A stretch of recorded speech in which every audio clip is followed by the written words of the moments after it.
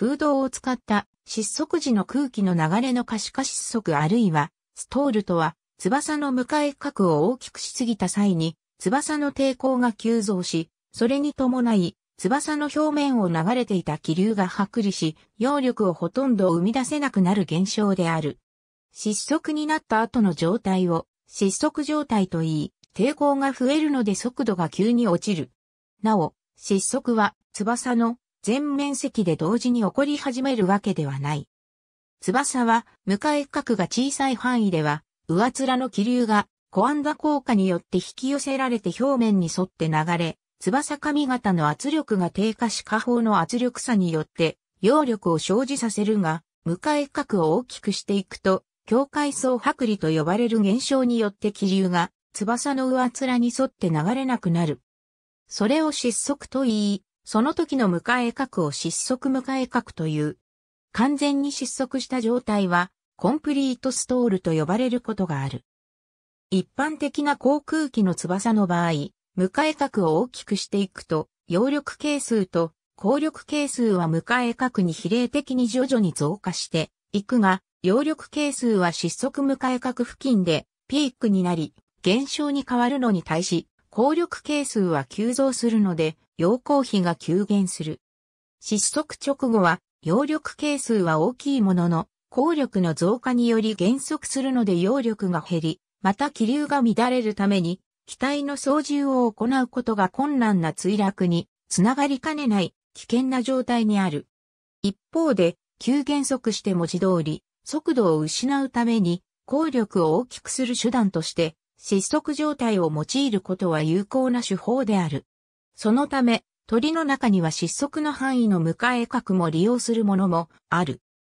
航空機においては、スポイラー、エアブレーキなどによって意図的に失速状態を利用することがあるが、迎え角を大きくすることで、失速状態に入ることはほとんどなく、様々な防止策、回復策を講じている。例外として、戦闘機動においては、意図的に失速行角を取ることがある。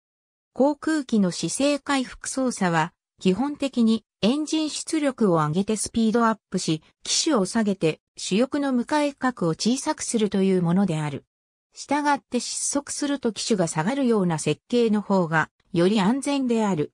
航空機は離着陸時、大きな迎え角を取るために失速が発生しやすい上、高度も低いために対処が間に合わず墜落に至る可能性も高い。現代では失速迎え角に達する前に、パイロットに警告を発する失速警報装置が搭載されている。小舟の方はいささか条件が異なる。航空機にとっては、効力は推進力を阻害する働きをするが、小舟で風下方向に進行する場合は逆に効力を推進力として利用する。そのため、失速状態にあることは、効力を増大させるという意味で、好ましい条件である。重量のある船体は下部にあるため、気流の乱れによる安定性低下も問題にならない。ただし、風上方向に搬送する場合においては、航空機と同じく効力は推進力の阻害要因であり、揚力を利用して搬送するので、失速しない状態が好ましい。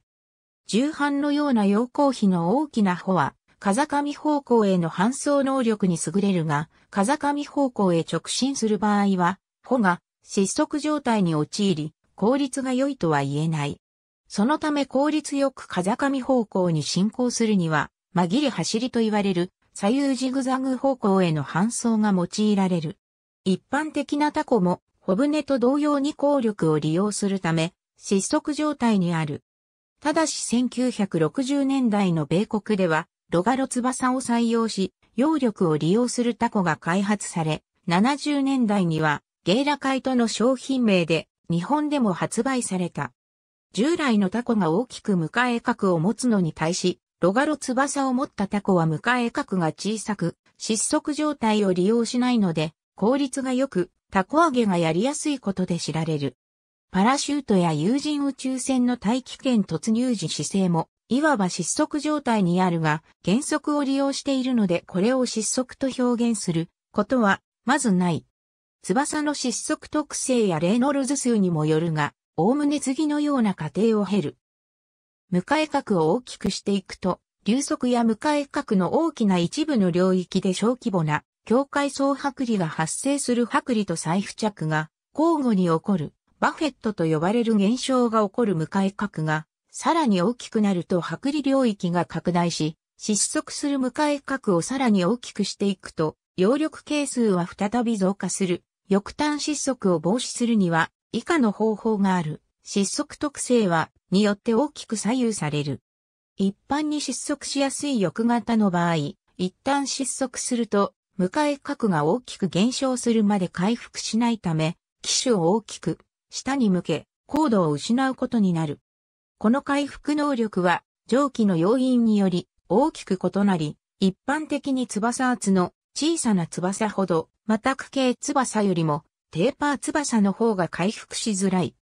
T 字翼機のディープストールディープストールは飛行機のデザイン、また特殊な操縦によって生じる特に危険な失速のことである。飛行機のデザインで言えば、特に垂直尾翼の先端付近に水平尾翼がある T 字尾翼機に生じやすい。この翼配置では、失速により生じた主翼の乱流交流が水平尾翼を包み、昇降打が機能しなくなる。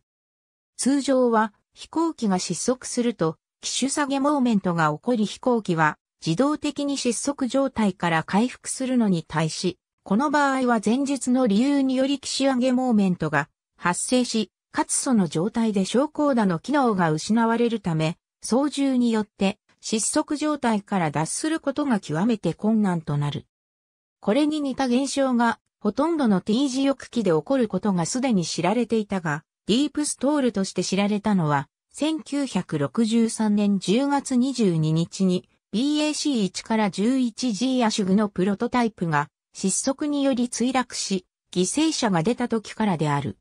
この事故を機に、その後多くの飛行機に改良が施され、パイロットに失速の危険をいち早く、かつ明確に知らせるためにスティックシェーカーも取り付けられるようになった。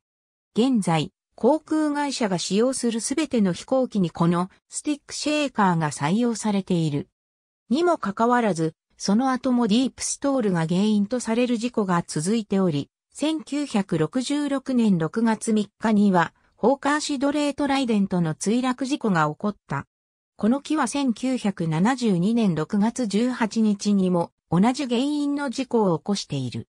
1980年4月3日にはビジネスジェットのカナディアチャレンジャープロトタイプが試験飛行でディープストールに突入し、この時は脱出に失敗したテストパイロットの一人が犠牲になっている。1993年7月26日にはカナディア CRJ-100 がディープストールを起こしている。旋回失速とはターボ機械を低流領域で運転した時に翼に生じる失速領域が動翼よりも遅い速度で翼から翼へ回転方向に伝播する不安定現象である。低流領域で運転すると羽の向かい角が小さくなって失速領域が一部の翼に発生する。すると、その流路への流れが閉塞されるため、動翼回転方向に前、翼への向かい角は減少し、あと、翼への向かい角は増大する。その結果、あと翼に失速が発生すると、これまで失速していた翼への向かい角は、ヘリ失速から回復する。このため、失速領域は一つの翼に止まることができず、旋回失速を引き起こす。旋回失速が生じると激しい圧力脈動が引き起こされ、長時間続くと翼に繰り返し荷重が作用し、疲労破壊を招くので注意を要する。羽根付きディフューザを持つ遠心式機械では、案内羽に軸流式機械では、羽根車の型に旋回失速が引き起こされることが多い。特に、ジェットエンジンの圧縮機で起きる場合には、サージングと呼ばれる。航空実用時点日本航空、着陸ではなく、着陸また行の失敗か特集、足穴記事故とヒューマンファクター。アビエーションワイヤ、2018年4月7日閲覧。What is the super stall? エイビシャンシャップ、2009年9月2日閲覧。report on the accident to BA。C1、11G、ASHG at Cratt Hill、near Chicklade、Wiltshire on 22nd October 1963、Ministry of Aviation CAP219、1965、 HAT http コロンスラッシュスラッシュ aviation-safety.net スラッシュ database スラッシュレコード .php ID イコール1966万603から http://aviation-safety.net スラッシュ database スラッシュレコード .php ID イコール1980万403から1 http コロンスラッシュスラッシュ aviation-safety.net スラッシュデータベーススラッシュレコード .php ID イコール1993万726から2